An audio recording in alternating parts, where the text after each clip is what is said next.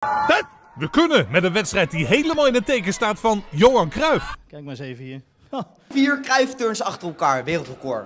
Ik denk dat eh, Johan Cruijff trots zou zijn op wat wij hebben laten zien. Pannatje. En niet één panna, dit wordt echt een leuke video weer, maar twee. En drie zelfs.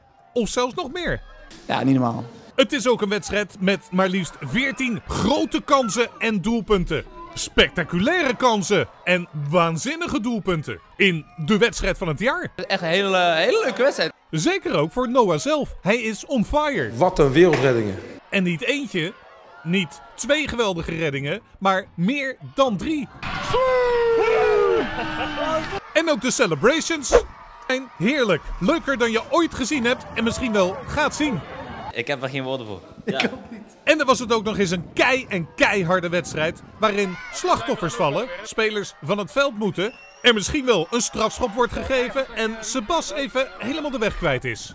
Joris, Akamist, wil zelfs op de vuist met zijn tegenstander. We weten het, we hebben team spirit, hè? Je weet het, hè? Waarom zou de grensrechter geel krijgen en wat zijn jullie, de kijkers?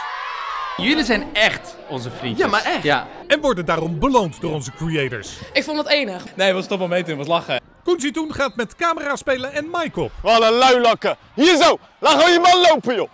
Zelf geeft Koen het goede voorbeeld. Hij was overal echt topverdediger. Te gek dit, Creators FC.